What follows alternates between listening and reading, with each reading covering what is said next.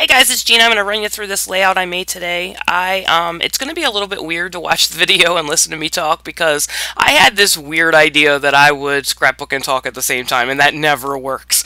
So um, I need to give up that strategy really because it doesn't work. Here what I'm explaining to you here is that I used a Kerri Bradford template uh, to add all of these photos together and I ran out of uh, toner in my printer when I printed it out, but it was only that one right hand side, and I didn't want to print it out again and waste all of that ink and those sort of things. So I'm just going to cut off that one photo that I'm cutting off. Um, actually, doesn't really mean anything to the layout. It was already sort of captured um, in the other photos, and then the the right side of that photo with Sean and Eli didn't matter at all. So instead of wasting all that ink and printing this out again, I just um, cut it down. So instead of having seven photos on this layout, I have six. Uh, these were all layouts.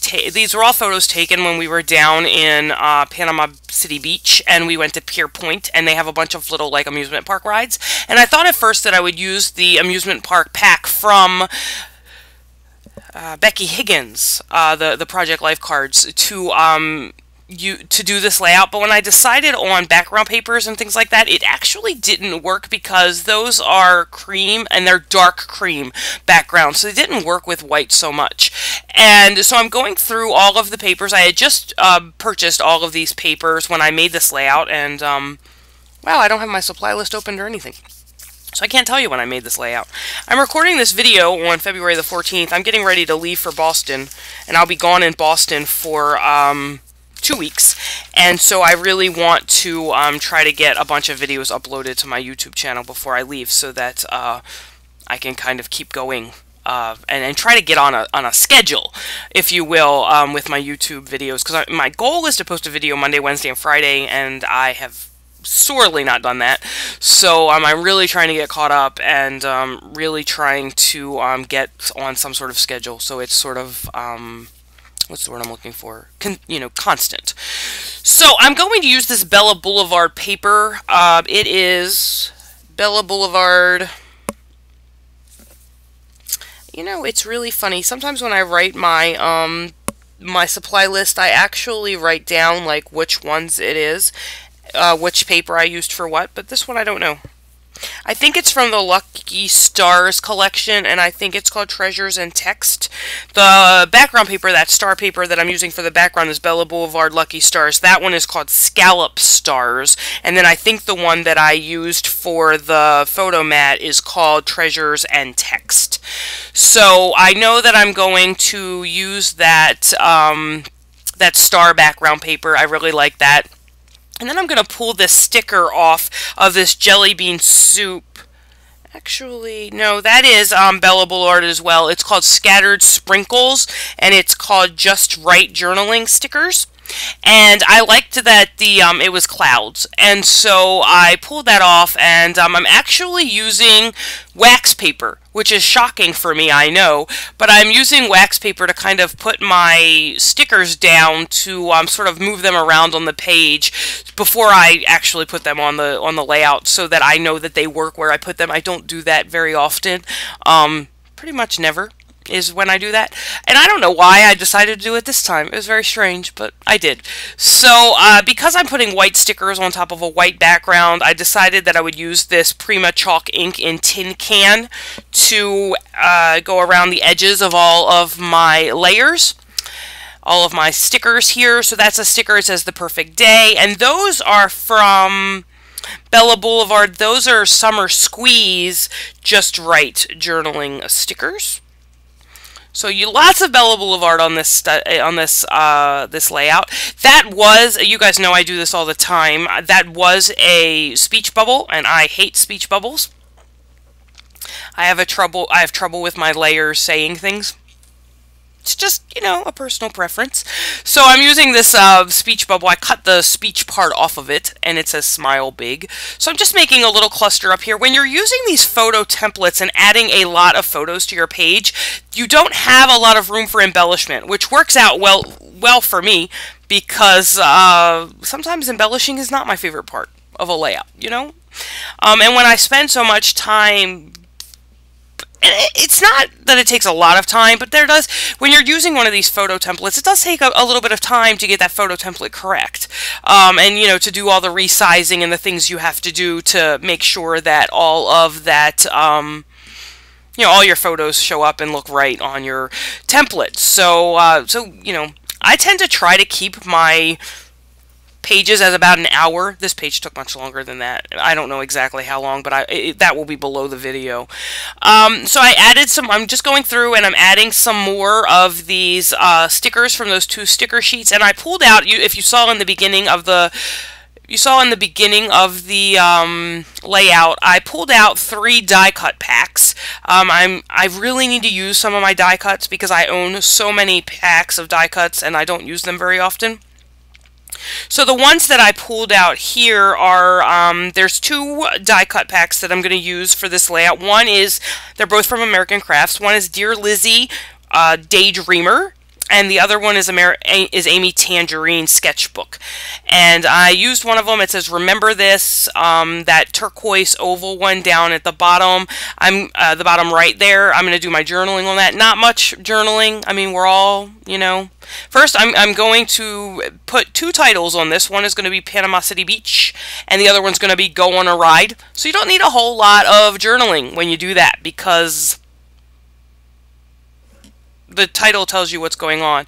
Um, I'm fussing around here with what I'm going to put behind. You see I created that weird space you can see above that red sticker. So I'm playing around with how to fill that in to give it, um, to not make it look so weird. So I decided to use that hot air balloon um, there.